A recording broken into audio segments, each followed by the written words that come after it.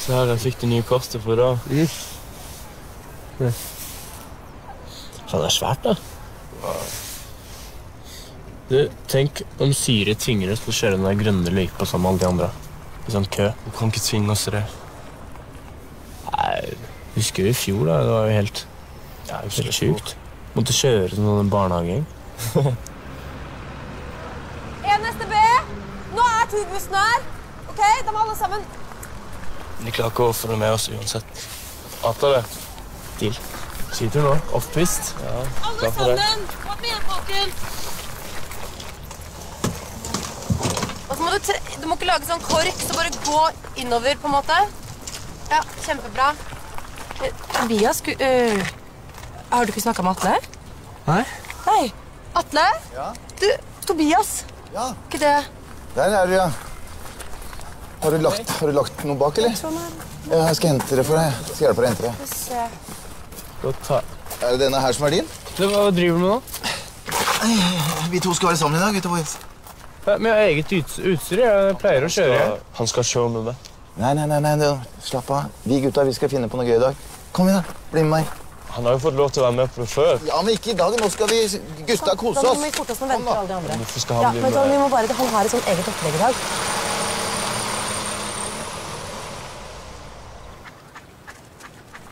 Er det ikke deilig å være en dag ute i det fri? Det var ikke akkurat det jeg så for meg. da. Men se her, du. Her er det en som har tenkt på alt. Det hadde du nok ikke trodd om meg.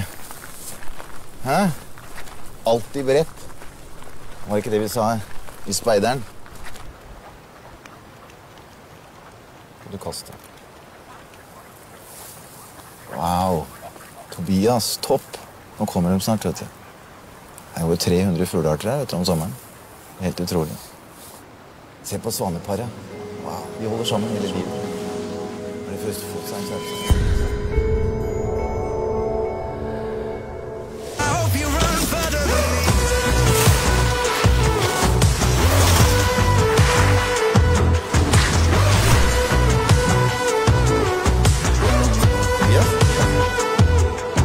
Tobias? Tobias? Oi, var du langt borte nå? Ja. Det er flott at du kan komme deg ut, hva? At du klarer det. Det er ikke alle som greier altså.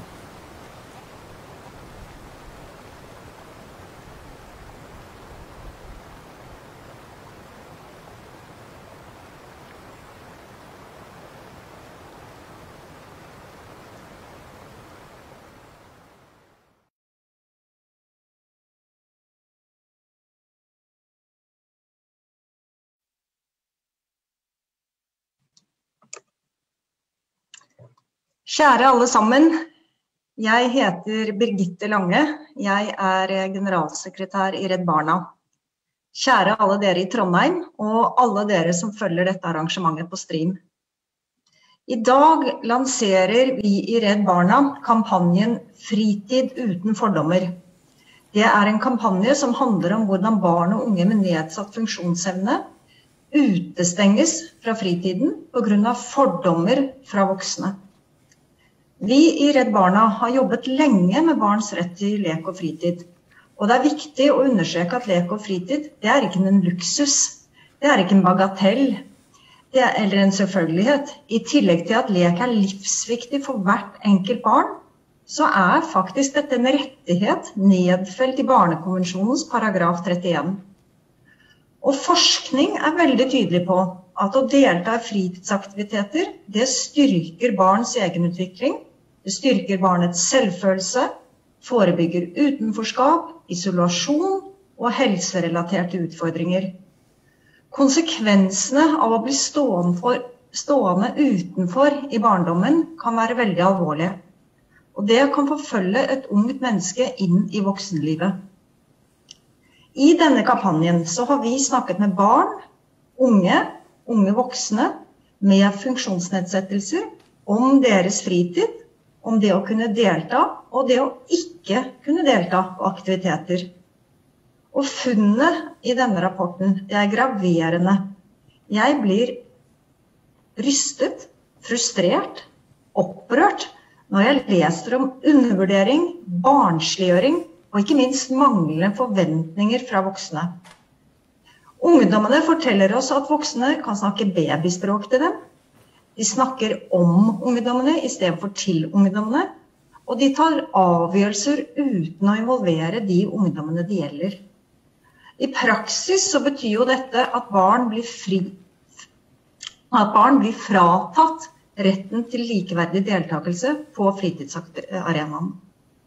Og til tross for at Norge har på plass politiske ambisjoner, dokumenter og løfter som skal sikre alle barn rett til å delta, så vet vi at barn med nedsatt funksjonsevne er mindre sammen med jevnaldrende enn andre barn.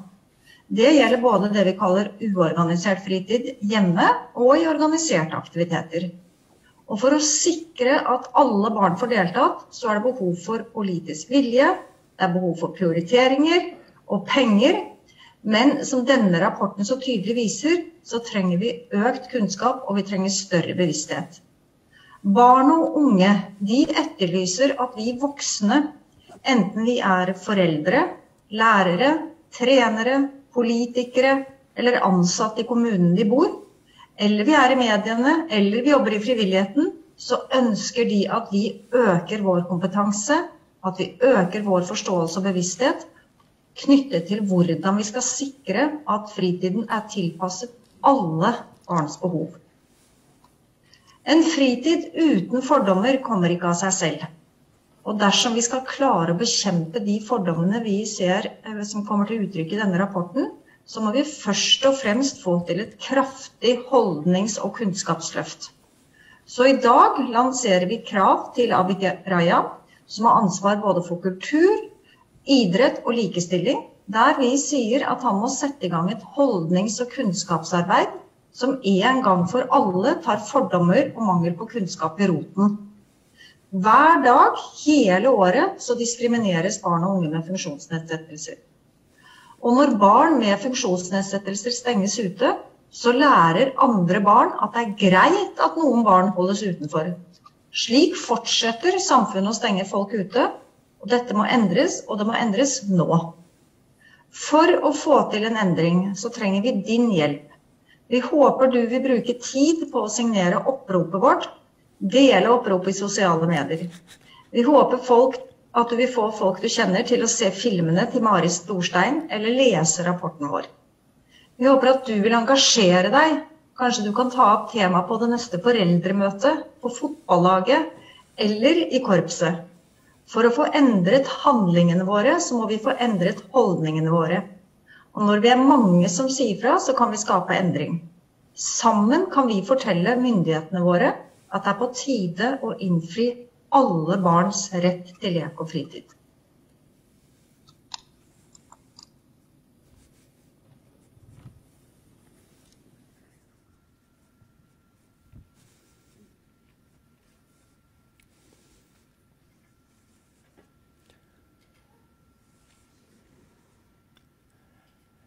Ja. Da eh, skal jeg på vegne av Redd Barna eh, og Region Midt, som står som arrangør av eh, denne eh, kampanjestarten, ønske dere riktig velkommen til Nova kino i Trondheim. Hjertelig velkommen til dere som er i salen. Eh, hjertelig velkommen til paneldeltakere. Og hjertelig velkommen til alle som er interessert i dette temaet. Eh, det er sånn at uh, I dag så uh, tenker vi at vi skal legge opp uh, denne debatten gjennom å i første omgang vise hovedfunnene i rapporten og snakke litt om dem. og til det har vi fått god ekspertise og hjelp. så skal vi, når, er, når de hovedfunnene er lagt fram, så skal vi eh, sørge for at vi eh, har en god og, og lang panelsamtale eh, om dette aktuelle temaet. Navnet mitt er Roger Fredheim, og jeg er regionleder. Og da skal jeg i første omgang eh, bare gi ordet til eh, Martine, som skal legge fram eh, litt av de funnene som rapporten viser. Eh, Martine er styremedlem i Norges Handikap Ungdom Trøndelag. Og hun har stått eh, som eh, si, ressursperson rundt de her funnene og den rapporten gjennom de her intervjuene. Så Martine Eliasson, vær så god. Da skal du få lov å bruke litt tid på å dra oss gjennom hovedfunnene. Takk for det. Navnet mitt er Martine Eliasson. Og jeg har vært prosjektleder for Rebarnas prosjekt, En fritid for alle, uten fordommer.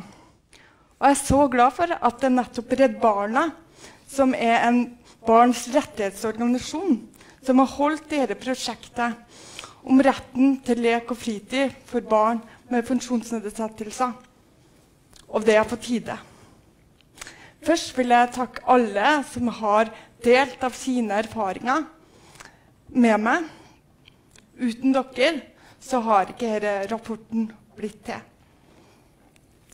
Men uh, før jeg går over til funnene i prosjektet, så tenkte jeg jeg skulle lese det forordet jeg skrev til denne rapporten. Jeg var ei lita jente med store drømmer, høye ambisjoner og klare mål. Når jeg ble stor, skulle jeg bli statsminister. Jeg skulle bestemme hvordan samfunnet skulle være, akkurat som jeg bestemte hjemme. Men da jeg begynte i barnehagen, så endra det seg. Da voksne de satte merkelapper på meg som skulle definere hvem jeg var, og hva jeg skulle bli. Jeg ble for dem et barn med spesielle behov. Et barn som trengte ekstra omsorg. Et barn som skulle snakkes om, men aldri til. Bare fordi jeg satt i rullestol. Jeg kjente meg annerledes. Jeg kjente meg som et objekt med en produksjonsfeil. Og opp igjennom oppveksten skammer jeg meg unødvendig mye.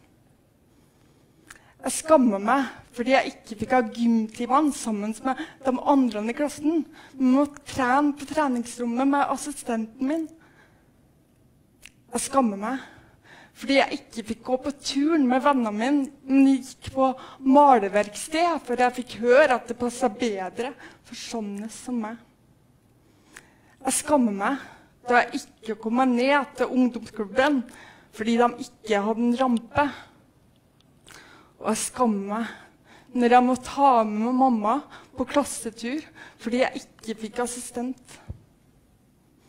Hver gang jeg møtte disse barrierene, fikk jeg et slag i magen og en tro på at det var noe feil med meg.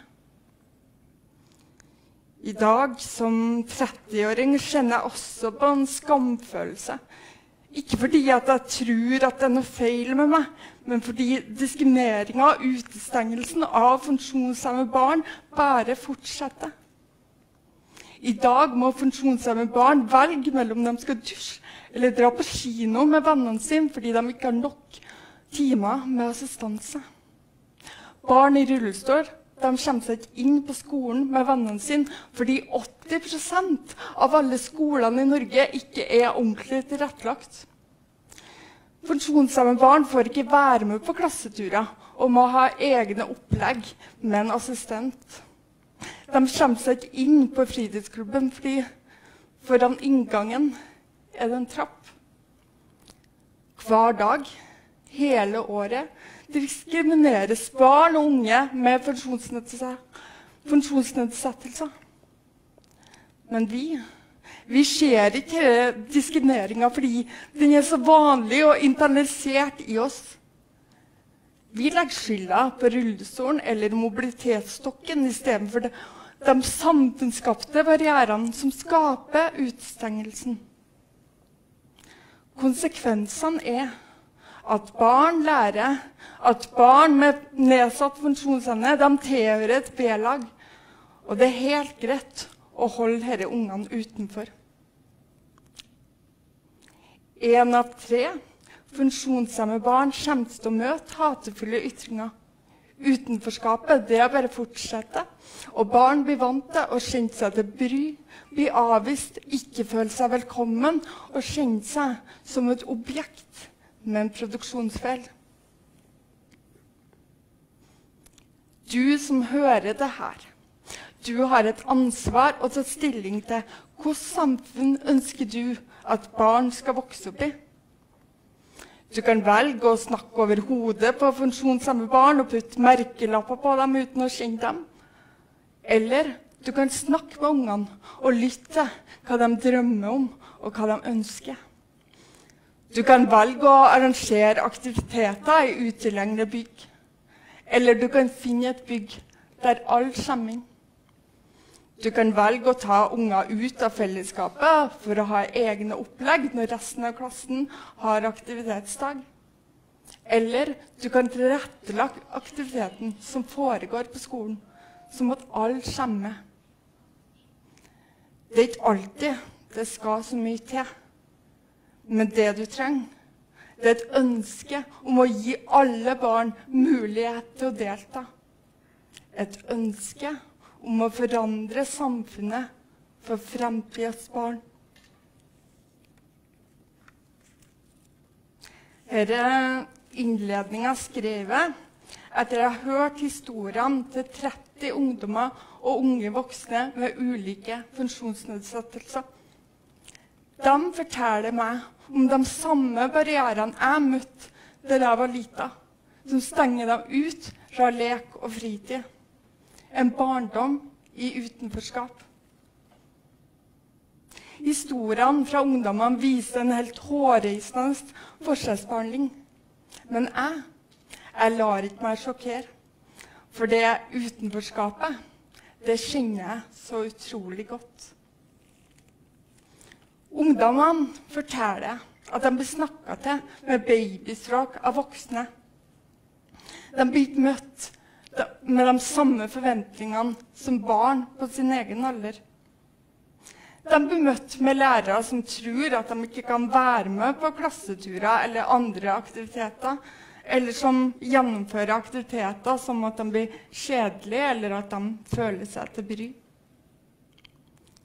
En ungdom sier hvis du stiller lavere forventninger til et barn pga. sin funksjonsnedsettelse, så er det egentlig en veldig sterk diskriminering. Noen får høre at du trenger ikke være med på denne treninga fordi vi har sånne egne opplegg for sånne som deg. En ungdom forteller meg at uh, på aktivitetsdager så får jeg tilbud om å dra på shopping med mamma. En annen sier jeg er ikke med på aktivitet, aktivitetsdager er hjemme.'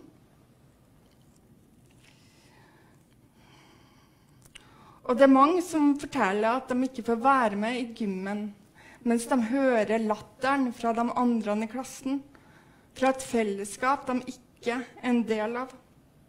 Og når man får være med i gymmen, ja, da blir man ofte satt til å være en sånn skjegle som de andre ungene skal springe rundt.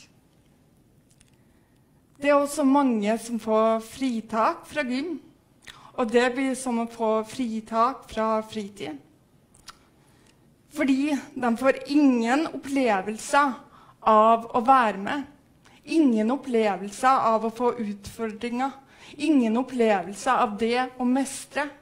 Så da er det mange som syns det er bedre å bare sitte hjemme. For da slipper de i det minste å være til bry. Ungdommer forteller meg at de ikke kommer seg inn til steder som ungdomsklubber, kinoer eller bowlinger. Fordi foran inngangen så er det jo en trapp. En ungdom sier til meg at det er ikke alt som er tilrettelagt. Jeg kommer ikke meg inn dit jeg vil. det har hendt at jeg måtte ha stått utenfor og venta. Da føler ikke jeg meg velkommen. Men jeg er blitt vant til det og blitt avvist. Men det burde ikke vært sånn. Når ungdommer forteller meg at de er vant til at det ikke er plass til dem, så betyr det at det skjer veldig ofte. Ungdommene forteller meg at de ofte blir stående igjen på holdeplasser fordi de ikke kommer seg med bussen eller trikken. Sjåførene kan synes det er litt sånn styrete med en rampe. De har jo ikke brukt den før, og hvis de skal bruke den, så ligger de jo etter skjema. Det å holde rutetida blir viktigere enn å unngå at barn blir stående igjen på holdeplassen. Det er også noen ungdommer som forteller meg at de må velge bort sosiale aktiviteter som bursdagsselskap og kinoavtaler fordi de ikke har nok timer med assistanse. Borgerstyrt personlig assistanse, BPA, skal gi funksjonshemmede barn og unge frihet til å leve aktive og likestilte liv på alle samfunnsområder. Allikevel så forteller ungdommene meg at de timene man har, må man bruke på helt nødvendige gjøremål, som å spise og kle på seg. Det er ikke nok timer til å være med på fritidsaktiviteter. Kommunene ser på assistansen som funksjonshemmede barn trenger, som helse og omsorg. Barns funksjonsevne blir gjort om til et spørsmål om helse og sykdom istedenfor muligheter til å delta. Dette fører til at mange barn og unge setter fritida si på vent. Men så er det jo noen da som forteller meg at de er så heldige fordi de får være med på akkurat det de har lyst til. De er så heldige fordi de har nok timer med assistanse til å spille fotball. De er så heldige fordi de kommer seg inn på skolen med vennene sine. Og heldigvis så får de bo hjemme med mamma og pappa og ikke trenger å være på institusjon. Det som skulle ha vært en selvfølge og er en rettighet, blir til flaks. Det handler om hvem som trekker vinnerloddet, og hvem som trekker taperloddet. Dette er en systematisk diskriminering som foregår rett foran øynene på oss.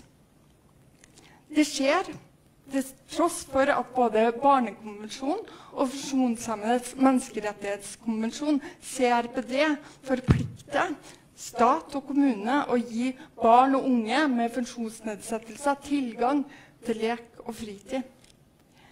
Barn og unge har rett til å vite om, komme seg til og holde på med en aktivitet de trives med å oppleve seg som likeverdige deltakere. For å være med på fritidsaktiviteter bidrar til fellesskap, tilhørighet og mestringsfølelse. Der barn får prøve ut interesser, utvikle talenter, treffe venner og utvikle sosiale ferdigheter.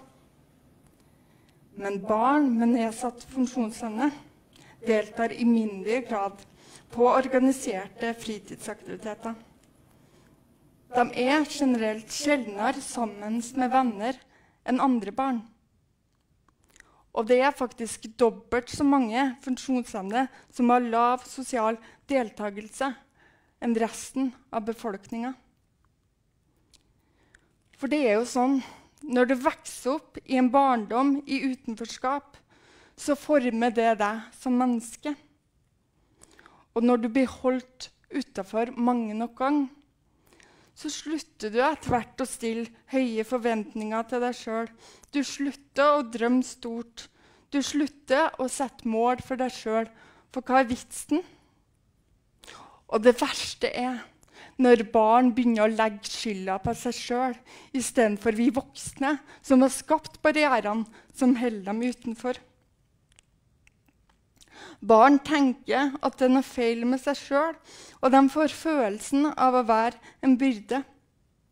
De blir vant til å holdes utenfor og til å se på seg sjøl som mindreverdig. Herre får store konsekvenser for resten av livet. Jeg har kartlagt mange historier, og vi vet nå hva det gjør med barn og unge som holdes utenfor. Så hvilket samfunn ønsker du at barn skal vokse opp i? Det er nå på høy tid at det blir politisk handling som sørger for at alle barn får innfridd retten sin. Og da trengs det midler til å gjøre alle tilbud universelt utforma for alle. Det trengs midler for å gjøre transporttilbudet tilpassa barns behov. Det trengs midler til å sørge for at alle barn får nok assistanse til å være aktiv og prøve ut sin egen selvstendighet. Og hver og enkelt av oss må dessuten begynne å prate med ungene, og ikke om dem, for å finne ut hva de ønsker. Vi må sørge for at vi har god kunnskap om hvem ungene er, hva de trenger, og hva de har lyst til. Sørge for at ingen ekskluderes fra meningsfull fritid. For kunnskap er nøkkelen til gode holdninger. Og hver og en av oss kan signere oppropet til likestillingsministeren for å sikre at barn og unge blir inkludert. For ofte så skal ikke så mye til. En ungdom sier til meg i korpset får jeg lydfiler av sangene som vi skal spille, for jeg kan ikke lese noter. Det gjør at jeg føler meg inkludert. Da jeg begynte i korpset, var jeg usikker fordi det var så få som visste hvordan de skulle snakke med meg. Nå går jeg i ungdomsgruppa, og der fikk jeg en hyggelig vennegjeng. I korpset er dirigentene åpne, inkluderende og oppmuntrende. Når vi skal spille med bevegelser, så viser de meg bevegelser med f.eks. å ta tak i armene mine. Det er bra, for da føler jeg meg inkludert. For heldigvis så er det jo ikke ungene det er noe galt med. Det er samfunnet og samfunnet, det kan vi endre. Så la oss nå brette opp ermene og gjøre en innsats for at alle barn og unge kan delta i lek og fritid. Takk for meg.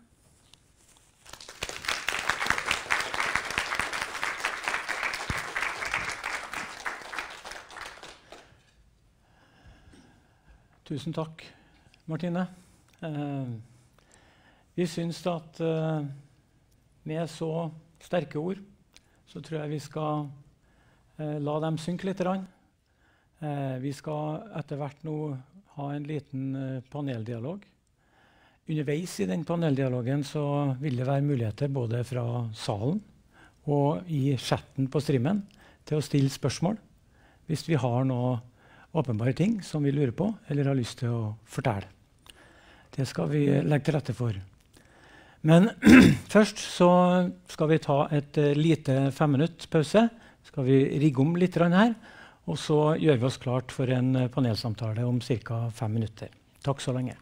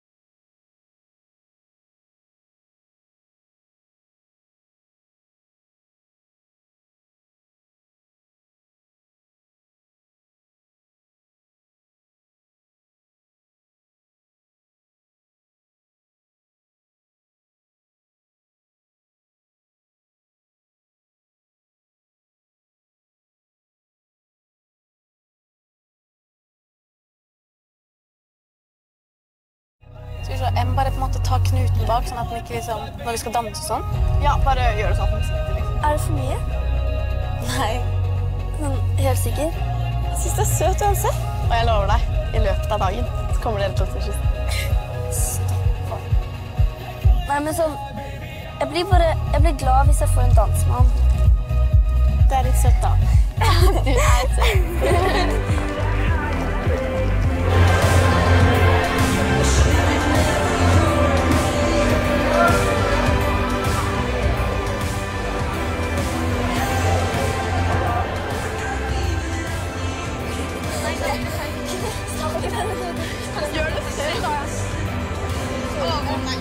Yes!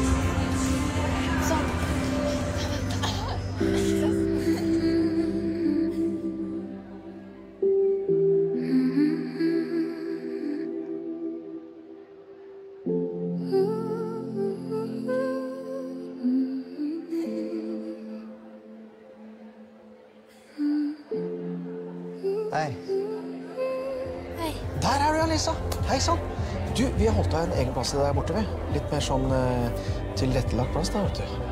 Hun skal sitte med oss. Ja, nei, Vi må nesten tenke litt på sikkerheten nå, så det blir kjempefint. Ikke sant? Så flott, da. Hei, alle sammen. Hei. Eh, dette er kvelden vi har ventet sykt lenge på. Og vi i ballkomiteen vil bare ønske alle sammen velkommen til årets ball. Syns du ikke det var noe godt? Altså, Jeg kan godt hente noe mer til deg, altså. Jo, jo, jo. Jeg syns det her var helt nydelig. Altså, tapas, jeg syns det er Jeg synes det er genial eh, rett, altså. Jeg syns det er så godt. Kan ikke vi ta en selfie? Selfie er bra, vet du. Oi. Sånn. Der, ja. Få se. Å, det blir fint, da. Oi, oi, oi. Kjempelekkert. Ja. Jeg er ikke tvil om at jeg har de fineste borddamene, i hvert fall. Det er helt sikkert. så bra. Ja. Du har vært heldig. Ja.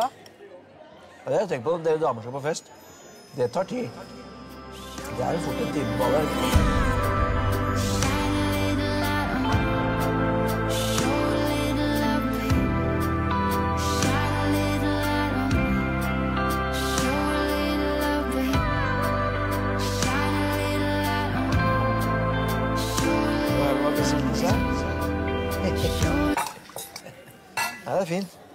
Altså, jeg syns det er ganske rørende altså, at du også får lov til å oppleve en sånn dag som det her. Det syns jeg er ganske Altså, ball det er store greier, det. Det er fint. Marsipan.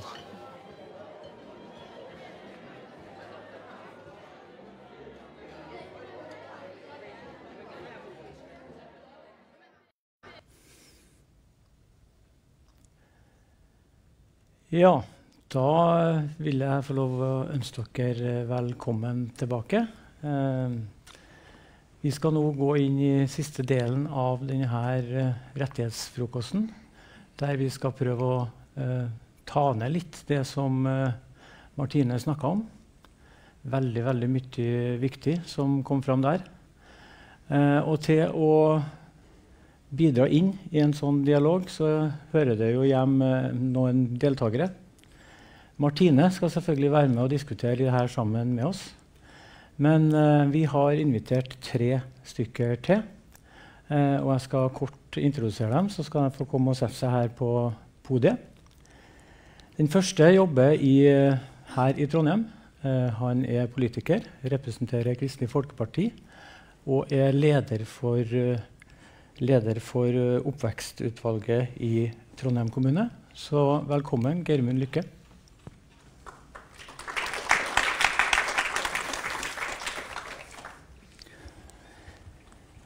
Den andre vi har invitert inn til denne samtalen, eh, det er eh, en representant for eh, ja, idretten. Idretten er viktig for mange. Den er like viktig for eh, alle barn og unge med funksjonsnedsettelser som den er for de som er friske. Så vi har da retta henvendelsen til Håndballforbundet, og der har vi, der har vi eh, eh, rett og slett eh, Eva Skei, som er leder for inkludering i Håndballforbundet. Så Eva, vær så god.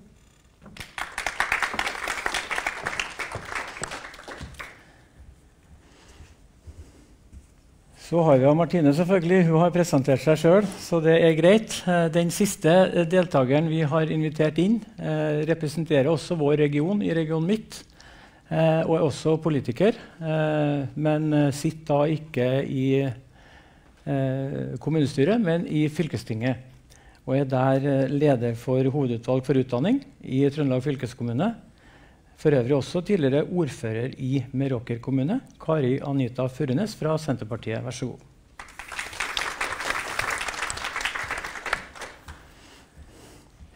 Ja, eh, det er vel sånn at eh, de fleste av oss har eh, fått litt å tenke på etter det framlegget. Jeg tenkte vi rett og slett skulle starte med å ta en liten runde med dere tre som nå er kommet inn i samtalen. Vi vet veldig godt eh, hva som er Martine sin vei inn her, og hva hun har jobba med for å få synliggjort denne utfordringa. Men eh, jeg vil gjerne at dere tre andre kanskje sier litt om eh, eh deres, eh, si, eh, deres hverdagslige ståsted, og hva som gjorde at dere ble interessert i og har takka ja til å være med inn i denne samtalen. Geirmund, skal vi starte med det? Takk skal du ha. Og aller først takk for invitasjonen eh, til en veldig viktig dag og uke. Eh, og jeg har lyst til å starte med å si tusen takk til Martine for eh, en strålende jobb som dere har lagt fram, og for eh, en eh, sterk eh, innledning som gjorde et stort inntrykk på meg. Uh, og jeg har lyst til å starte med det at Når du sa det at din barndomsdrøm var å bli statsminister, så sier jeg ikke gi opp den. det du har lagt fram her, det viser at det, det, er så mye stoff i deg at du kan nå dit du ønsker på politikkens vei. Det er jeg helt sikker på. Uh, ja, hvorfor sa jeg ja til å komme hit? For meg, og for mitt parti, vil jeg da si, så er likeverdsspørsmål veldig sentralt del av ideologien. At alle mennesker er født med samme verdi. Eh, at vi skal gi de mulighetene som, eh, som, eh, som hvert enkelt individ ønsker å oppnå. At vi skal legge til rette sånn at det kan skje. Um, og som leder i oppvekstkomiteen i, bystyret så er det selvsagt en viktig bit av det ansvaret jeg har der, å sørge for at eh, opplæringa som, som, skjer i Trondheim, da, eh, skjer innenfor de eh, eh For å kunne realisere det potensialet. Og så er det sånn at Fritidsaktivitetene for barn og unge de er egentlig lagt under et annet, en annen komité. Men her i dag så tenker jeg jeg sitter her som en bystyrerepresentant med ansvar for det hele. Og jeg har eh, sagt ja til å komme hit ikke for at jeg har så sterke meninger eller eh, om akkurat det temaet, men fordi jeg syns det er veldig viktig for meg som folkevalgt å få denne informasjonen. Møte brukere, møte dem som sitter i feltet, eh, for å høre hvordan oppleves virkeligheten. Hva er det for noe som skurrer? Hva er det for noe vi må gjøre noe med eh, for at vi skal kunne skape et samfunn i Trondheim som virkelig er, gir muligheter for alle. Så jeg, jeg ser fram til det som videre kommer fram, og jeg takker så langt. Takk skal du ha, Geirmund. Eh, Eva, du eh, har jo med deg håndballen eh, inn her, men jeg vil tro at uh, ut ifra ryktene sier, så er, har du du er med på mye forskjellig eh, innenfor dette eh, temafeltet. Du kan jo si litt sjøl. Og hva liksom er grunnen til at du hadde veldig lyst til å stille opp til oss? Ja. Jeg lurer på. Jeg lurer på. Der. Der ja. Takk for uh, invitasjonen. Uh, når jeg fikk den, så muligheten til å være med her, så sa jeg ja med en gang. Syns dette her er et eh, spennende område. Eh, når jeg fikk rapporten og leste den, så ble det enda mer spennende. For her, unnskyld. Dette er et område jeg jobber med hver dag. Jeg har gjort det de siste årene. Jeg har jobba i Håndballforbundet i mange mange år med utvikling og, og både i forhold til elite og og topp, men har også hatt med meg inkludering av funksjonshemmede i alle år. Uh, I tillegg så jobber jeg i, akkurat nå med en rapport som uh, Idrettsforbundet har utvikla, som går nesten på det samme temaet. Og der, det syns jeg det var veldig interessant å få den rapporten, for da fikk du litt mer bakgrunn for det vi òg skal jobbe ut i Idrettsforbundet. Og jeg jobber da med, selvfølgelig med håndball, men jeg har òg vidvinkel på andre idretter og mennesker. Og I bunnen så er jeg òg idrettsutdanna og har Beitostølen og Spesped i bakgrunnen òg. Så, så den gruppa Eh, mennesker som jeg føler utenforskap, som du og Martine nevner i rapporten din, er mer og mer spennende i tida framover. Jeg må nesten si, som du sa her òg, det er på jammen på tide at vi nå setter ned foten og får gjort noe med dette. For det er 30 år siden jeg tok et uh, master i idrett. Og da var vi nesten på samme stadium, at vi jobba etter det samme. Vi ønska det meste. Og nå håper jeg virkelig at vi får med oss mer politisk og offentlig vilje og, og økonomi òg i, i dette arbeidet her, så at vi kommer enda lenger. Vi er tilbydere i idretten. I hvert fall eh, den idretten jeg sjøl styrer for å få med flere. Så jeg håper at vi skal lykkes med å få med flere som føler det utenforskapet som de egentlig ikke bør føle i dagens samfunn. Takk skal du ha. Eh, interessant. Eh, det gir jo visse refleksjoner, det å høre at eh, eh, man nesten står litt på stedet hvil når du trekker pendelen tilbake. Det er interessant. Eh, til slutt, Kari Anita. Eh, du representerer jo på et vis fylket på fylkes, altså i fylkestinget på politisk. du bringer nok med deg flere erfaringer enn bare det politiske, vil jeg tro. Men si litt om din, din grunn til å takke ja her. Tusen takk for en viktig invitasjon, og for at et så viktig tema løftes opp. Um, å sette fokus sånn som vi gjør i dag, tror jeg er helt nødvendig for å faktisk eh, løfte opp dette temaet for å forstå hvor stor dimensjon det har, og hvor mange liv det gjelder. Eh, min vei inn i det, det er det med å likeverd og være verdt det samme uansett hvem det er, har vært med stor betydning hele livet. Det gjorde at uh, jeg ønska å bli fysioterapeut. Og har eh, jobba som klinisk fysioterapeut og bygd opp, vært bygde opp tilbud for barn og unge. Nettopp for å kunne få finne handlingsrom og muligheter. Eh, og hele mitt eh, yrkesaktive virke har handla veldig mye det om likeverd og deltakelse. Eh, som politiker, da, både som ordfører og i fylket, så har det vært et stort ansvar. Um, vi skal jo ha det som en del av hverdagen når vi tenker. Um, men uh, allikevel er det noen løft en må gjøre innimellom. For meg gjorde det et uh, stort inntrykk da vi hadde NM for langrenn i Meråker. Og tilbakemeldingen som Birgit Skarsheim ga når hun kom i mål, det syns jeg var sterkt. Det var første gang hun har opplevd at løypene var spesiallaga for pareidretten. Det var første gang hun har sett at det stått i programmet. Og det var første gang det var merka på eget vis. Det sier sitt hvor mye det er å gå på. Og sånn skal det ikke være. På fylket så um, har vi ansvar for 16 000 ungdommer som går i videregående skole i alderen 15 til 21 år. Og vi skal sørge for at de har det bra. Eh, vi har 31 videregående skoler over hele fylket. De skal være tilgjengelige for alle. Og hvis det ikke er det, så vil jeg høre det. Eh, veldig mye av idrettsanleggene er det jo fylkeskommunen som bygger ut i lag med kommunen. Eh, det er mye av fritida skal være der. Eh, det er viktig at den er tilgjengelig. Den skal være det. Vi skal bygge etter det i plan- og bygningsloven. Er ikke det, så må vi få høre det. Takk skal du ha. Eh, man kommer jo allerede med klare henvendelser ut i, til opinionen eh, i forhold til det som skal, eh, må skje. Eh, men jeg har lyst til å gripe litt fatt i det her med skole. det er jo sånn at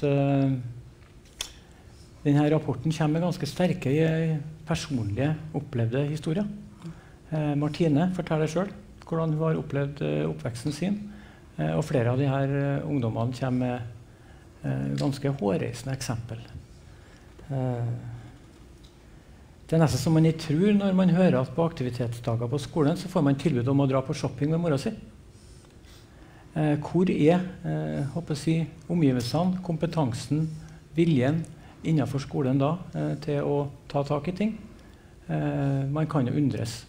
Eh, det treffer meg litt, fordi at min vei inn i Redd Barna er at jeg kommer fra skoleverket. Jeg har jobba 25 år som skoleleder, og jeg kjenner litt til den uh, forskjellen som er rundt omkring. Men uh, tilbake til det her med skole uh, og de historiene man hører. er, det noe, måte, er det noen av de her historiene Det kan godt være på fritidsarenaen eller hva som helst. Er det noen av dem som som, som, treffer dere spesielt sterkt av det dere har lest og hørt? Er det noen som har lyst til å komme med noe innspill på det? Og, det er jo ganske direkte tale, for å si det sånn. Ja, jeg syns det her å ikke ha muligheten til å velge sjøl er kanskje det som treffer meg mest, og som er gjengangeren. Og jeg tenker at når vi som parti da, vil ha et likestillingsløft for at det skal være full eh, deltakelse i samfunnet, så syns jeg at det sier ganske mye i 2021. Eh, at man må kjempe og jobbe for å ha et spesielt fokus for at den enkelte skal få velge sjøl. Eh, og bli holdt utafor av andre. Fysiske barrierer det kan vi gjøre noe med. Men holdningene og kunnskapen som må ligge i grunn til den enkelte, for å faktisk møte alle behovene som er ønska, der er det mye å gå på. Og det, det, sårer, det å høre at man ikke får velge sjøl. Mm. Geirmund, har du lyst til å supplere litt? Ja, det er, det er, jo veldig mye Jeg, jeg kjenner jeg blir liksom emosjonell eh, fordi at det, det er så mye som, eh, som jeg kjenner Ja, jeg kjenner den, den smerten eh, som de barna og de ungdommene formidler. Jeg, jeg, jeg tar det innover meg. Og det gjør at det er nesten litt vanskelig å, å sette ord på. Men eh, jeg bruker noen ganger å si at eh, fordommer fordummer. Eh, fordommer fordummer på, på bokmål.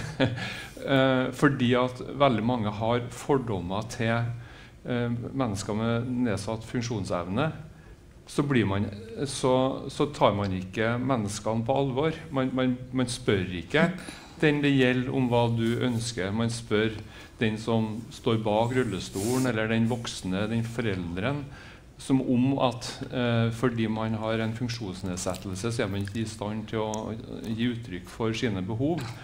Og det der eh, eh, synes jeg det er noe av det aller viktigste å ta tak i. Fordi at det er jo å, å, å, å stemple mennesker som mindreverdige. Det er å ikke eh, Det, det er med å, å, ydmyke. Det er med å gi følelsen av at uh, man er til bry. Uh, og, og, og, det er på ingen måte med å gi Eh, den ressursen som alle mennesker trenger for å, for å kjenne på egenverd, for å kjenne på stolthet og mestring. Eh, at du ikke engang skal være i stand til å gi uttrykk for dine behov. Da er du eh, så nulla ut at det er noe av det aller viktigste å ta tak i. Mm. Um, så det å, å, løfte opp mennesker og få lov eh, til å eh, få medvirke inn i sine egne liv, tror jeg er en av de, de, de største utfordringene her. Mm. Ja. Så er det jo sånn, da eh, Og da skal jeg henvende meg litt til deg, Martine. Eh, det ble jo sagt at uh, vi har gode politiske ambisjoner. Uh, vi har jo uh, først og fremst for oss i Redd Barna så har vi Barnekonvensjons artikkel 31, som stadfester rett til lek og fritid. det er jo en lov på lik linje med Barnekonvensjonen, er jo inkorporert i norsk lov. Det, det ble nevnt det her med at vi har en egen konvensjon for mennesker med nedsatt funksjonsevne, såkalt CRPD, som vi kaller den. Du nevnte den også, Martine. Så sier, jo, så sier jo Birgitte i sin innledning at vi har som sagt, gode politiske ambisjoner, dokumenter og løfter som skal sikre at alle barn sikres muligheten til å delta. Til tross for det her vet vi at barn og unge med nedsatt funksjonsevne er mindre sammen med jevnaldrende enn andre barn. Både organisert og uorganisert. Du kjenner deg vel igjen i det her, eh, Martine. Eh, hva tenker du når du på en måte, er, Du har både, både, fått innspill og du har eh, opplevd det sjøl. Hvis du skal prøve å si noe om hva er den største barrieren her? Nei, altså jeg tenker jo den største barrieren av dem alle er jo fordommer vi har mot uh, funksjonshemmede barn og unge.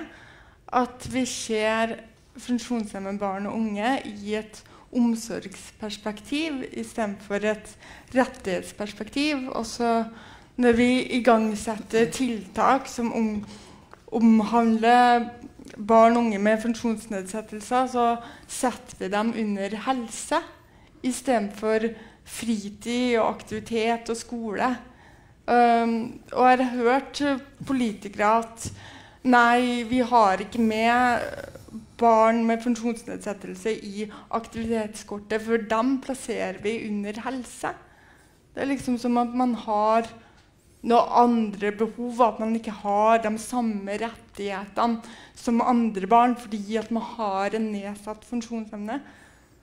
Og det tenker jeg er det viktigste å endre synet på barn med funksjonsnedsettelse. At man er først og fremst barn, og ikke sin funksjonsnedsettelse. Mm. Mm. Vær så god. Eh, det er jeg helt enig i. Denne tenkningen at BPA-ordninga er en del av helse- og omsorgsrettighetene, er åpenbart noe man må ta tak i. Og jeg er glad for at i forbindelse med at regjeringa nå har fram denne likeverdsreformen, så er det her av de tingene som man ønsker å få utreda. Og det er vel så ikke jeg minnes, eh, lovt at den utredninga skal være ferdig allerede til sommeren. Og da håper jeg at det blir at en nytt, eh, rask endring av det eh, blir satt ut i livet. For det, det er jeg helt enig i. Det, det, haster. Ja, kan jeg bare kommentere den der? Fordi det heter jo likeverdsreform. Eh, og jeg føler at vi må jo komme lenger enn det. Det, altså, det burde jo hett Likestillingsreformen. For å sikre at alle barn og unge har like muligheter. Altså, vi må ta det et skritt videre enn å snakke om likeverd. Helt riktig. Eh, vi har jo ulike interesseorganisasjoner som skal ivareta ulike brukergrupper, eh, også innenfor dette feltet. Og jeg har lyst til å henlede litt oppmerksomheten mot uh, en gruppe som kaller seg Unge funksjonshemmede. er det, det står også i rapporten her, da, men ei som heter Maja Li Oppdal. Hun sier det at barn og unge må sikres muligheten til å velge fritidsaktiviteter etter interesser, ikke kun etter tilgjengelighet eller hva myndighetene mener er mest praktisk der og da. Og Det betyr jo at man må satse på det her med universell utforming. Både av skoler, barnehager og fritidsarenaer. Tilgjengelige transportordninger og gode ledsagerordninger. Og nok aktivitetshjelpemidler. Og så snakker jeg om også kompetanse innenfor feltet. Og eh, da er det på en måte, Jeg har lyst til å utfordre både politikken og idretten. Eh, hvor høyt opp på dagsorden er det når man gjør politikerne først? da? Når man skal gjøre politiske vedtak. Hvor høyt oppe på dagsorden er det? Og hvor stor er kompetansen og ikke minst viljen til å på en måte omsette dette her til, til handling? Eh, vær så god. Takk. Um som fylke så har vi jo Råd for likestilling for mennesker med nedsatt funksjonsevne. Og Fylkesrådmannen er jo pålagt å holde rådet oppdatert til enhver tid på saker som skal behandles i fylkeskommunen. Og For vår del så er det jo da eh, sammensetninga av rådet en viktig inngang eh, med eh, folk som kan det, som er fra organisasjonene, som kan legge fram for oss de her hverdagsutfordringene som blir beskrevet. Det er viktig at det er med som grunnlag eh, i saksbehandlinga, så det kommer fram. Uh, og når vi skal da gjøre utbygginga, for oss så legger jo dette under utdanning eller under eiendom. Og sånn sett så får det et annet fokus, det med tilgjengelighet. Eh, I tillegg så eh, er det sånn at det er jo et lovkrav, så det blir jo ikke godkjent. Eh, og det er viktig for oss som politikere å være fokusert på det og ta tak i det eh, når vi skal gjøre beslutninger. Samtidig så ser vi at eh, den rollen vi har som rollemodeller, eh, i form av å løfte opp betydninga det har, har mye å si. Og vi har i fylkeskommunen fra 2018 eh, ordna ei ordning eh, der det går an å søke på midler innen kultur og idrett. I tillegg så var vi med nå eh, og bevilga eh, to millioner til det her parasenteret som skal etableres. Og det er jo forhold til å få prøve ut forskjellige aktiviteter. Og det er jo viktig. For tilbake til det som Birgit sa i Meråker under NM. Problemet er jo at når det ikke er tilrettelagt, så tør ikke man å prøve. For man er redd for å skade seg enda mer. Uh, og det er jo et paradoks når du skal legge til rette for aktivitet uh, og ikke gjøre det på rett måte. og sånn sett er det jo kunnskap, forståelse, men ikke minst holdninger. Og da er det opp til oss da, å løfte opp. og det som jeg sa, at vi ønsker å styrke eh, deltakelsen. Vi ønsker å styrke BPA-ordninga eh, for at det nettopp skal være mulig å kunne velge sjøl eh, og delta på det man ønsker. Ja. Men eh, det hjelper jo ikke hvor stort ønsket er hvis viljen ikke er der. Vi prioriterer jo da budsjettmessig, og det vil man jo se mm. eh, i bestillingene som legger inn for utforming. Mm. Og det er ikke at det skal være universelt utforma, men det skal være likestilt. Så at man ikke føler eh, og skal oppleve Sånn som Martine sier, at du må stå og vente utafor. Mm. Du skal kun ta heisen rett på sida av trappa. Mm. Og det skal være samme inngangen for alle. Mm. Eva, så hånda di opp. Ja, jeg føler jo det at uh, vi vil jo det samme, alle i hop. Mm. Uh, uansett om vi sitter i rullestol, eller om vi ikke ser, eller om vi uh, er friske og kan være med på det meste og velge sjøl. Og, og, jeg tror jo litt der at etter hvert så kan alle velge. Men problemet er at du ikke kan nå fram til valget ditt. Og da tenker jeg at sånn som I idretten nå, så vi, legger vi til rette. Vi jobber med det kontinuerlig. Men det er på en måte at vi føler at det er Og utøveren vil. Og den vil gjerne velge f.eks. å være med i håndball. Men så er det det å komme seg til aktiviteten. Og det å få hjelp f.eks. med en assistent til å komme seg til og fra aktiviteten til enhver tid. Og, og kanskje òg det eh, å finne en assistent også, som er litt likeverdig. Eh, jeg tenker litt på den filmen vi ser her òg, at den blir plasseres med en Det var jo overdrevet med, med frakk og hatt. Men, men det, jeg føler litt på det òg, at de som har assistenter som er like gamle, som er litt, uh, føler litt vennskap i, da er det lettere å velge rett og trives og få uh, utfordringene som du trenger for å et, uh, få et verdig liv, et, et verdig hverdagsliv. Og det er jo det som er, ligger litt bak tilbudet som vi i idretten har. At du, du skal nå fram. Du skal, du skal, gi en fysisk aktivitet. Du skal trene. Du skal være sammen med. Du skal ikke sitte i et rom ved sida av. Eh, skal du være med i en håndballkamp, så kan du godt være i en rullestol, men da må du ha noen til å hjelpe deg, og den som skal hjelpe deg, må òg fungere sammen med. Så jeg føler på en måte at eh, vi må jobbe mer Det offentlige må se det at vi i idretten vil. Og, og, så må de tilby oss da, at det blir en eh, være en brobygger fra det mennesket og heimen og mor og far og søsken, kanskje, og gi dem en, den lille ekstra støtten i en personlig assistent som kanskje en kan velge litt sjøl. Men det koster litt noen kroner. Og det koster noen kroner med transport. Det koster noen kroner med den broa og den, og den trappa med hindringer. Men den kostnaden tror jeg ikke er stor i forhold til det menneskeverdet som det vil gi tilbake at vi har for sunne, friske funksjonshemmede. Mm. Takk skal du ha. Geimund, du representerer jo eh, Trondheim, men eh, samtidig så representerer du, du storby. da. Eh, og det er klart at eh, det bor mye mennesker i storby eh, rundt om i, i landet her. Så dere er på en måte litt representative, vil jeg tro, i forhold til hvor høyt føler du at dette er oppe på dagsordenen i bystyret i Trondheim? nå? det er nok sikkert ulikt fra representant til representant, men, men allment vil jeg jo absolutt mene at dette er et, et felt som mange har et engasjement i. Uh, um, og uh, i oppvekstkomiteen hvor jeg sitter nå, så, så, har vi jo gjennom det halvannet året som har vært siden vi ble valgt, hatt gjentagende saker som har handla om hvordan tilretteleggings altså hvordan barn med, med tilretteleggingsbehov skal møtes i skolen og hvordan eh, de utfordringene vi nå ser for, fordi at antall, I Trondheim i hvert fall, så øker antall barn som har funksjonsnedsettelser.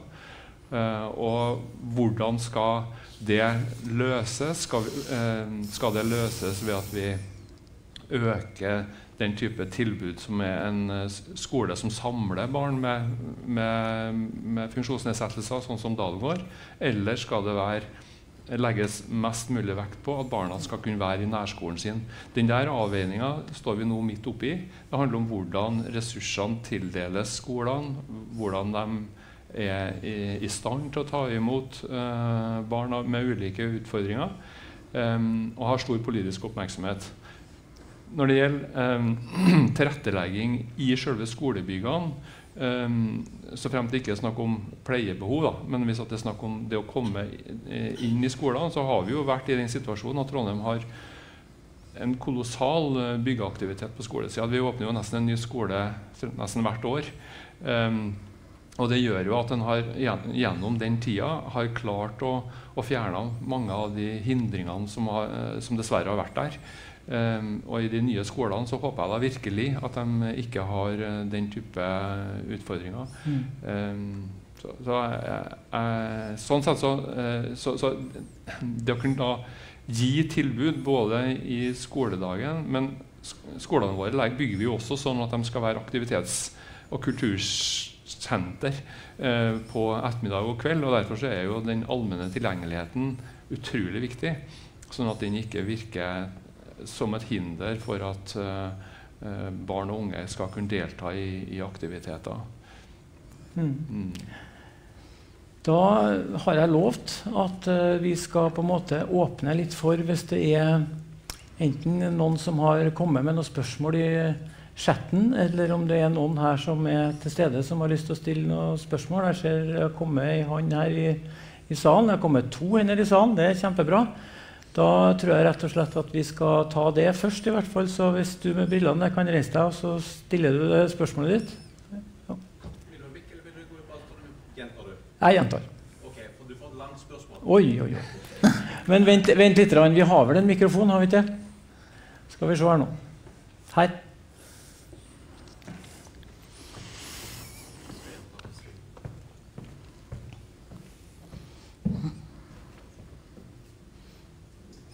Håvard Raff Ottesund, Handikappa Barns Foreldreforening. Jeg tenkte det var veldig fint å få en sånn mm, presentasjon. Så er det veldig flott å se at noen representanter fra Trondheim kommune og Trøndelag fylke så skal realitetsorientere dere. Hver dag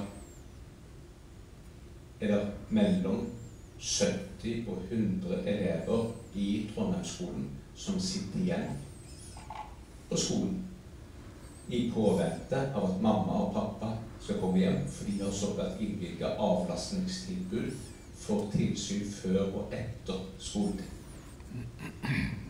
Fritid foregår fra skoleslutt til leggetid.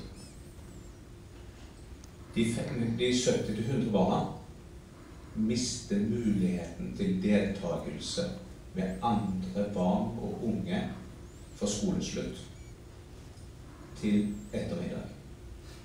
De sitter på grupperom i påvente av at Maxitaxien skal sende dem hjem. Alle vet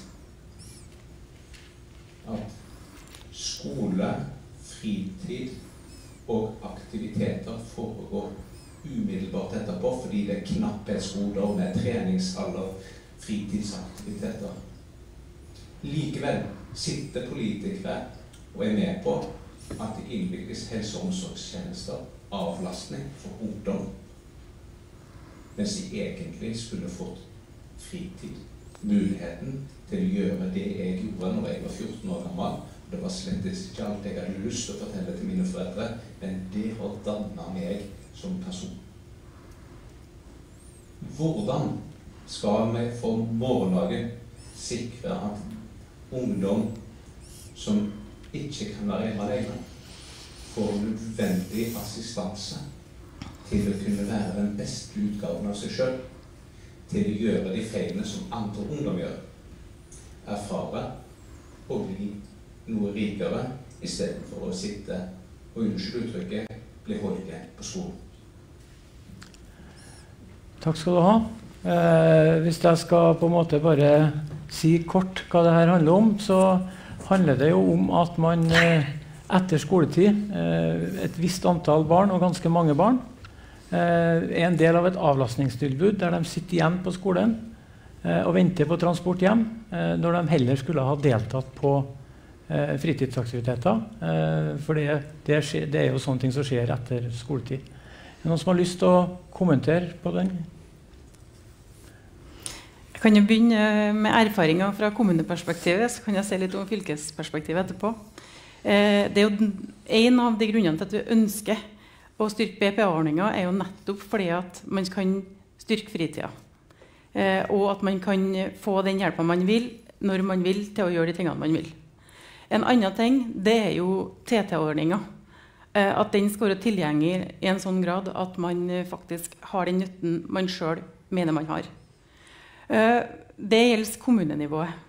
Når det gjelder fylkesnivået, så har vi gjort det sånn at det er en del, vi har en del eh, skoler som er ansvarlig spesielt eh, for å ivareta eh, spesielt for hørselshemma eller synshemma, men det er skreddersøm som er hoved, eh, hoveddelen av det. Det handler om f.eks. sånn som friidrett. Eh, den som ønsker å holde på med friidrett landslinjeplasser på Steinkjer. Av 30 landslinjeplasser så er eh, mellom to til tre hvert år, altså hvert kull, prioritert i forhold til para. Og da Én eh, ting er selve muligheten du, har eh, med skoler, men da er det òg med skreddersøm i forhold til det å kunne bo. Vi snakker jo nå om et ganske bredt spekter i behov Eh, både i forhold til hjelp eh, og muligheter hva man ønsker. Men poenget da, det er faktisk denne dialogen. Eh, og det gjør at for fylkeskommunen så er det sånn at man vil ha et varsel oktober året før skolestart. Nettopp for å kunne begynne den skreddersømmen. og da vi vet, vet, Nå senest så bygger vi om hybeltun for muligheten og tilgjengelighet Eh, så en parutøver kan delta i forhold til ski i Meråker. Mm. Eh, og da, eh, poenget er at her er det ulike ønsker og behov, og da må det tilrettelegges for den enkelte. Ja, takk skal du ha. Eh, det var et spørsmål til. Jeg ser litt på klokka, og vi har ikke så veldig mye tid igjen. Så vi prioriterer spørsmål derfra. Vær så god. Ja, eh, det er jo et trøndersk uttrykk som sier sånn at du kan ønske den ene hånda og så kan du gjøre noe helt annet i den andre hånda. Så kan du se hva som er tyngst. Og det, sånn er det med denne saken. her. Altså, Martine snakker om skam. Det er barn og unge som skammer seg over seg selv. Nå er det på tide at vi snur det. Nå bør saksbehandlere som sitter og innvilger seks timer i uka med fritid til barn og unge, 50 minutter hver dag, de bør skamme seg den skolelederen som står og sier at vi har ikke penger til å tilrettelegge for eh, de 750 elevene som går der, det må du jo forstå, den bør skamme seg. Den politikeren som sitter og snakker og ikke gjør noen ting, den bør skamme seg. Når skal vi For likestilling, det koster, det. Det er sånn at det faktisk koster. Det har det alltid gjort. Og det vil også likestilling for funksjonshemmede gjøre. Når skal vi få politikere som faktisk sier at ja vel, det koster. Men vi må faktisk begynne å få den andre hånda tyngre. Vi må faktisk få det sånn at vi gjør noe, selv om det koster. Vi gjør noe fordi at det er menneskerettigheter det er snakk om. Vi har jo hørt det her. Vi har de rettighetene her, men de brytes. Vi har det likestillingsperspektivet, men vi ser det ikke i forhold til funksjonshemma. Så når skal man begynne å snakke om det at det er greit at det koster?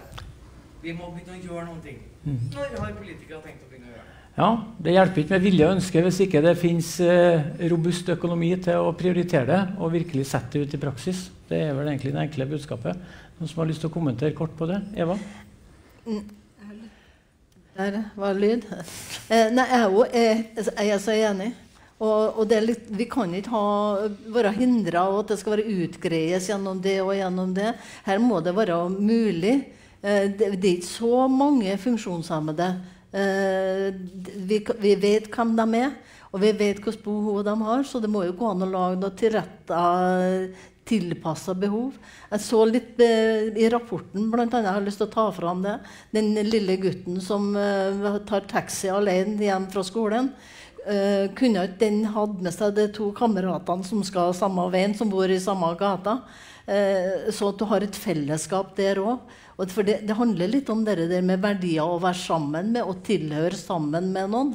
Uh, for jeg tror at det er hvis du får en maxitaxi, og så sitter du to stykker der, og du ene går i 7. klasse og andre går i andre, så er det ikke sikkert det fellesskapet der, men da kunne de begge hatt med seg en kamerat.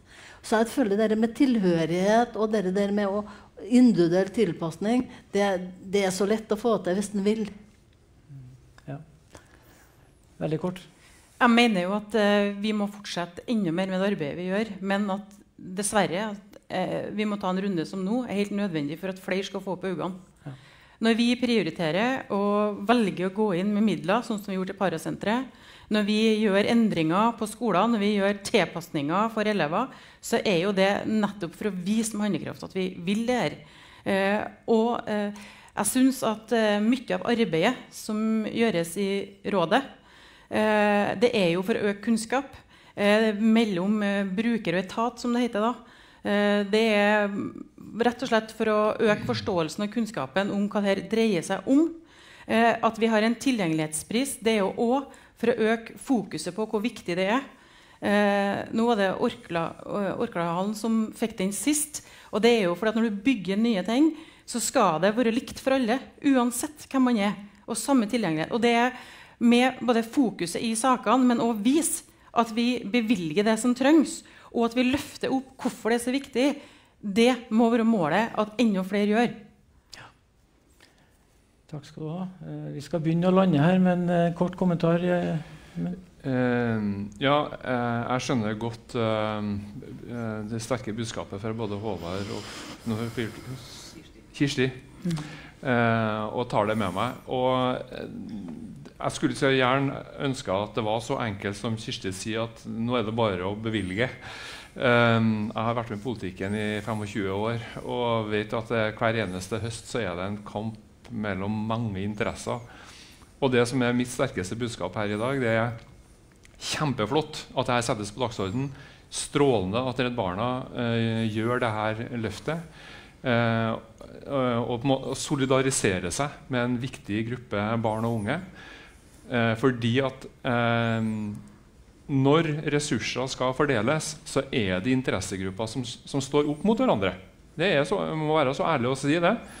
Og sterke grupper som omfatter mange, har lettere for å komme igjennom i talestrømmen. Så det at jeg, eh, og En må ikke tro at fordi man har formidla budskap ett år, så er jobben gjort. Det er kamp hvert eneste år, kontinuerlig. Og jeg har lyst til å si Håvard han er et eksempel på det. Han står på hele tida på vegne av eh, mange. Og gir all mulig honnør til det, sammen med mange andre. Og den er helt nødvendig fordi det er så lett for å drukne i den strømmen. Og så skal jeg i hvert fall øh, jobbe for dere her på de plassene der jeg sitter. Ja. Eh, og være, La ikke det være noe tvil. Eh, vi i Redd Barna skal i hvert fall være en ganske stor vaktbikkje i forhold til å sette dette på dagsordenen videre. For oss er det nettopp starta. Men eh, Martine, nå har du fått høre på eh, det som har kommet fram her. Eh, refleksjoner, en liten sluttappell. hva har du lyst til å si? Ja, og så jeg tenker litt sånn Hva er det som er viktigere enn en god og inkluderende barndom for alle barn og unge? Og så vi har alle et ansvar å ta stilling til hvilket samfunn ønsker vi at barn og unge skal vokse opp i. Og som politiker så har man et ansvar å sikre at alle barn og unge får mulighet til å delta. Og da trengs det midler. Det trengs midler for å gjøre alle tilbud tilgjengelige for alle. Det trengs midler til å gjøre kollektivtransporten tilpassa barns behov. Og det trengs midler for å gi alle barn nok assistanse til å være aktiv og utvikle sin selvstendighet. For det koster med likestilling. Men likestilling lønner seg alltid. Tusen takk skal du ha. Det er gode ord. Da tror jeg vi skal begynne å runde av her. Ehm, jeg ønsker å si eh, tusen takk til paneldeltakerne for gode innspill, tanker og refleksjoner. Så er jo det her som jeg sier, bare en start. Nå gjelder det å gå ut og spre budskapet og få til litt action. Det er jobben vår. Vi har en jobb å gjøre der. Og vi i Redd Barna det skal i hvert fall ikke stå på oss. Vi har en start på denne kampanjen, men det er akkurat det det er. Det er en start. Eh, og vi kommer til å stå på videre. Og vi vil gjerne eh, bli kontakta eh, hvis det er ting innenfor denne eh, tematikken, eller for så vidt andre tematikker som gjelder barn og unge òg. Eh, men eh, denne uka er det her vi har fokus på, og det kommer vi til å ha også på veien videre. Høyt oppe. Én ting er at du tar kontakt eh, for å få litt råd og veiledning. Eh, benytte også denne anledningen til å si at eh, ønsker man å bidra inn i Redd Barna, så har vi behov for frivillige. Det er bare å melde seg til oss på regionkontoret eller via Redd Barna sine nettsider.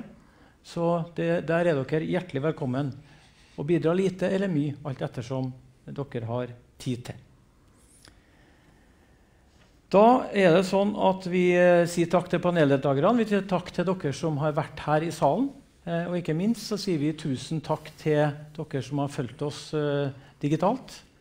Og som seg hør og bør, når man inviterer noen til en viktig samtale, så tenker vi at de skal få seg en liten oppmerksomhet. Vi har en knallgod kaffekopp fra Redd Barna. Eh, og i disse koronatider så er den godt pakka inn. Eh, sånn at, eh, og jeg skal ikke dele det ut her, men de skal få med seg hver sin Redd Barna-kopp når de går. Eh, og da vil jeg med det her si tusen takk eh, for oss eh, i Region Midt og for oss på vegne av oss alle i Redd Barna. Vi skal stå på videre for denne gruppa med barn og unge og sørge for at de skal få oppleve at det er samfunnet og holdninger det handler om, ikke den enkelte funksjonsnedsettelse. Takk for oss og ha en god dag videre.